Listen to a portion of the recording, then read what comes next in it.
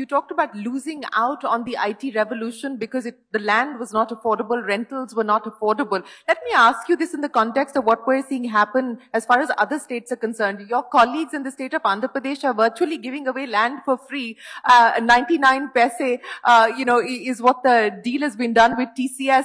Uh, are you worried about things like that? Do you see those things as an opportunity? No, I am not worried because Andhra Pradesh can have anything, but they cannot have Mumbai and Pune.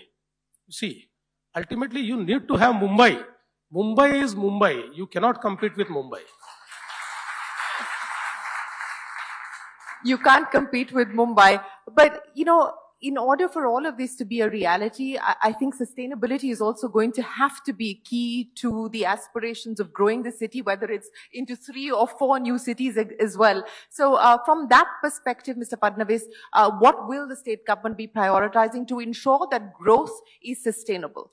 Yeah, I think uh, that's absolutely right because, uh, you know, uh, when we grow, the biggest concern is energy because, uh, you know, one of the indicators of growth is how much energy do you consume. And uh, today uh, we are somewhere around, uh, I mean the installed capacity in Maharashtra is somewhere around uh, 46 gigawatt. And by 2030, it will be around 82 gigawatt. So almost double. Uh, we, we have already started working on that. But uh, I must tell you that in this capacity addition, the addition will be mostly the green energy. see, today our entire energy mix in Maharashtra is just 21% renewable and rest all is, uh, you know, from fossils. But by 2030, our 52% energy will come from renewables. So there's a huge push on renewable. Uh, by next year, uh, uh by the end of 2026, by December 2026, our entire uh, agriculture demand, which is uh, around 16 gigawatt, will come from uh, solar. We have already started, you know, it is India's biggest distributed solar scheme, which we have started, Mukhyamantri Saur Krushi Vahini, uh, where around 3,000 feeders are being solarized and uh, already we have uh, finished around uh, 4,000 megawatt and by end of 2026 it will be 16,000 megawatt.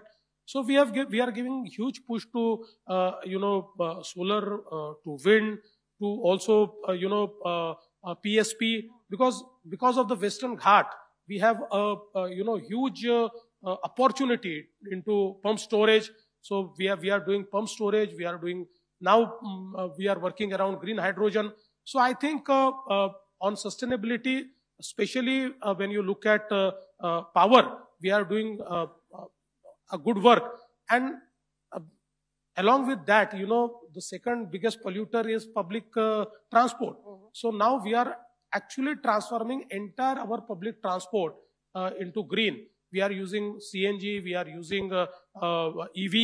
Uh, I mean, uh, the biggest order of EV to all the EV manufacturers has gone from the state of Maharashtra. actually, right now we require, we have a huge requirement, but you know, the, uh, the manufacturers are not able to provide uh, our requirement. So we are actually totally transiting our entire public transport.